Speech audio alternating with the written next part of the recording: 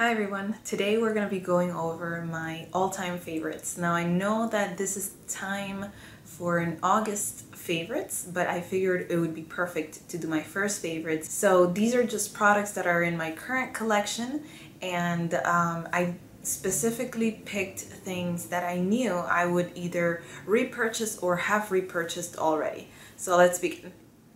I'm gonna go in the order in which I would apply my makeup. So first I would like to talk about this Bare Minerals and this is the pressed powder foundation that they recently came out with and uh, I originally had their just loose powder foundation and I really did love it. I used it for a really long time. But now they came out with this um, pressed powder form of their foundation and I have loved it so much. It comes off really creamy and it doesn't look very um, powdery because I have pretty dry skin so I like the look of having just like a dewy finish and this is the perfect natural look. Next, this is not going to come out as a surprise for you guys. The, the next three products I've actually used almost in all of my tutorials and for the bronzer, um, this is the Sunny bronzer from NYC and as you can see here I've already hit pan on it and um, that's definitely because I really love it a lot. This is definitely a product that I would repurchase. I think that it comes out great. It's very matte. There is no shimmer to it so you can have the perfect contour and not have to worry about any um, shimmer or extra glow that you don't necessarily want. For blush from Wet n Wild we have here Heather Silk and this product is um, only a couple of bucks but it is so nice. It's so well pigmented. As you can see there it just comes off really really pretty. It's just a very matte pink shade. It's just the perfect shade for me and I can't get enough of it. I've been using it on and on and, and on. for my highlight um, I've been using this hard candy in the color Tiki and this product actually says it's a bronzer. Not sure why because it's clearly a uh, shimmery product. It doesn't have any type of um, bronzing you like uh, qualities to it. Um, you can see it's actually pretty shimmery. And it just gives a very nice little sheen on top of the cheekbones Moving on to brushes, I've picked just a handful of brushes that I could not live without. And I'm probably exaggerating because let's face it, nobody needs brushes to live, but you know what I mean. First, I'm going to go with the foundation brush. And this is actually something that um, I recently purchased maybe about two three months ago but it's completely changed my application of foundation because before I had this I used to put it on with my fingers pretty much or like one of those little disposable um, sponges. But now I have this Real Techniques buffing brush and as you can see here, it's pretty dense and it's just really smooth on the skin. It just buffs everything in and it feels so much better. It just makes your makeup come off a lot more natural looking and very seamless, just very natural. Next, I would like to mention this Feather Light uh, stippling brush from Bare Minerals and as you can see here it's also a very dense brush. It has the same quality of like a uh, kabuki brush in the bottom but it does have these light bristles up on top that make mixing your you know, your face makeup a lot easier. Um, when I put on bronzer and blush and highlight and all this and that um, and I go over it with this just to make sure there aren't any real harsh lines this does a great job and I really do enjoy using it. The next product that I would like to mention is an eyeshadow brush and this product again I've had for years. I'm talking about at least 12 years and I've never actually had to replace it. I recently did buy another one just because I wanted to have another one in stock but I've actually um, brought the old one that I had uh, to show it to you guys and it's just such a quality product. This brush is like a dollar at Target's. Um, it's definitely very dense. You can see there that it's not a flimsy brush. It's, you know, kind of thick, but you can really just pack on any eyeshadow perfectly with it. It's just so amazing. I use it every single day and it's intact. It's definitely a brush that should be in every single person's collection. It's just that amazing. This brush came into my collection just a couple, a few weeks ago um, and I've just been enjoying using it so much. It's helped me so much with all of my makeup application that I had to put it in this video because I think it's just an awesome brush and just a great product to have overall.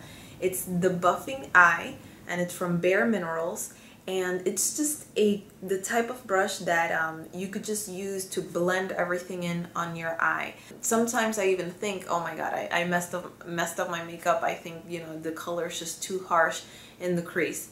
I bring in this puppy and it's just perfect. Now this one is one that I've had again in my collection for years and this one I, I bought from Victoria's Secret a really really long time now. You gotta you guys are gonna excuse the fact that it's actually a bit dirty but it's not actually just that I used it today to apply my makeup. It's that I've had it for like I said nearly nearly 10 years. I think this one I've had for nearly 10 years and it's just gotten a lot of use. I'm talking about this one and the e.l.f. brush have come hand in hand and have been with me for just every single day. They have been in my ups and in my downs and in my in-betweens and they've just been there for me. So moving on to actual eyeshadow application, I have been using this e.l.f. eyelid primer for I think about eight months and I think it's just an awesome product. I've used other primers and I think that this is actually top of the line. Um, I know it only costs a, lot, a dollar, which makes it that much better, um, but I do believe that this one is just a really great product. This is another product that I've had for about seven months, and it's great because it has two little sides to it. It's the e.l.f. Wet Gloss Lash and Brow. I used it once for my lashes. I didn't, I don't particularly think that I would go back to using it for my lashes because I do like my mascara, which I'm going to show you guys next. Um, guess which one it is. If you have watched any of my videos, you do know that I've only used one mascara and it's because I really do enjoy using that one a lot. But we're not talking about that yet. We're talking about this e.l.f. Wet Gloss Lash Brow um, Gel. It's awesome. It's just awesome. I think that it just leaves your um, eyebrows just in place. They don't move, they don't go anywhere. And now for my mascara. My favorite is the Colossal Volum' Express and the waterproof formula. I haven't used anything other than waterproof. And this mascara I've been wearing also for years and years and years. And um, I, it has always worked great it gives you a lot of volume. It really does like build up on your lashes. You know it doesn't clump on the type of brush that it has. It's really great for separating your lashes. It's not going to give you any sort of clumps or just unnecessary wetness and extra stuff that you don't need. I think this one is definitely top of the line drugstore mascara for sure for sure. Going into lip products, uh, I'm going to be showing you guys two. And one is a lipstick, and this is from Wet n Wild. And I think this cost me like 67 cents. I am not lying. Um, and it's in the color Fuchsia with Blue Pearl. And that's exactly what it is. It's a fuchsia color with like I think because it's a blue pearl, it kind of makes it look a little bit purpley and it's just so nice. I think this lipstick is so moisturizing. Um, it's definitely the type of lipstick that you could wear alone on its own. Um, this is definitely the type of lip color that you could just skip the eyeshadow, put on this lipstick, and you'll still look great. And lastly, for the lips, I have this Bonne Bell LipLites. And I got this at Walmart. I think it was around two bucks and it's just a very um, nude type of lip gloss. My favorite part about this product is the smell. When you smell this thing, you let me know how you feel about it. I love the smell of this. It smells so, so, so nice. It smells like you want to eat it. Like you just want to drink the lip gloss, which sounds disgusting. But when you smell it, you're going to let me know if you feel that I am being crazy because I'm not. When you smell it, you're gonna tell me, Ania, I do want to eat that. But anyway, this thing is in the color caramel and I haven't tried many of um, of their lip glosses. I have heard that they're actually great, but this caramel lip gloss, it smells like caramel. It looks very nice on the lips. It just looks very natural and very, not very just glassy type of gloss, if you know what I mean. And some glosses just look like you have glass on your lips. It's just reflecting every single little bit of sunshine that there is out there. And even if it's gloomy outside, your lips are just shining. Um, this is not like that. This is a gloss that's gonna go on. It's gonna look natural. It looks good, but it just looks, it, it looks nice and it smells so good.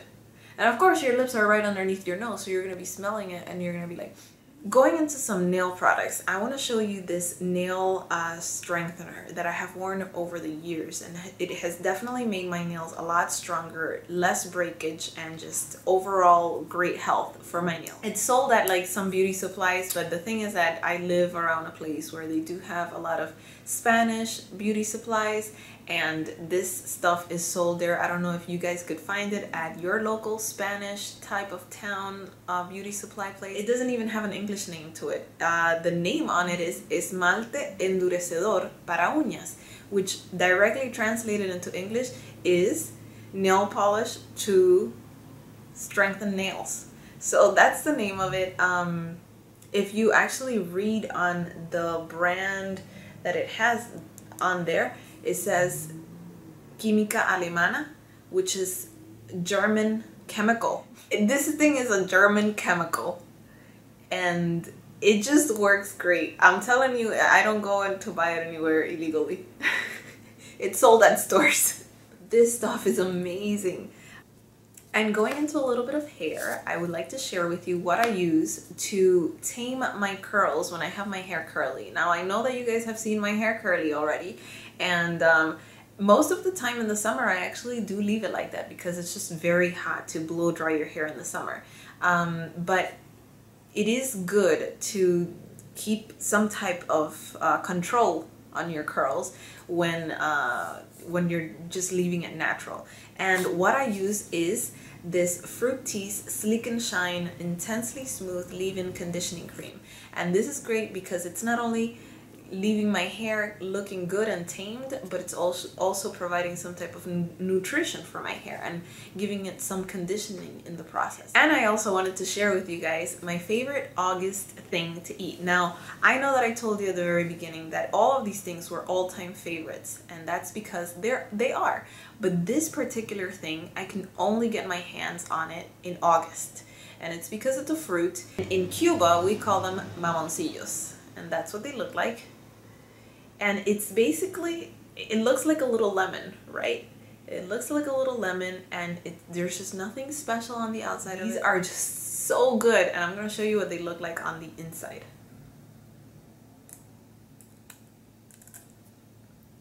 So basically you just saw me cracking it. And it looks like that. And it's just gooey orange goodness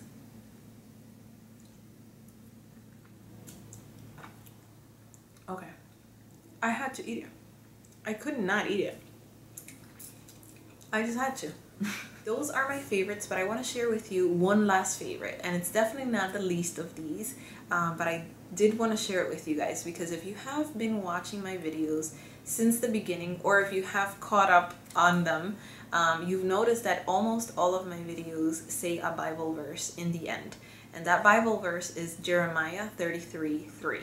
And I did want to share with you guys that that is my or one of my favorite Bible verses. And I wanted to tell you guys why. At the beginning of making my videos, many people would actually ask me what what it was and I would say just simply look it up. Uh, you know, that's that's basically um, the the fastest way to, to, to get to it. I could tell you whatever I think, but um, the Bible's actually going to tell you the truth. So I would say just look it up. But now I'm sharing with you guys that that's definitely one of my favorite Bible verses, and I I definitely ask for you if you're curious, look it up, find it on your own, but I will read it to you guys now. And of course, I'm using my handy Bible app and I'm going to be reading it to you guys from my phone. And it says, Call to me and I will answer you and tell you great and unsearchable things you do not know.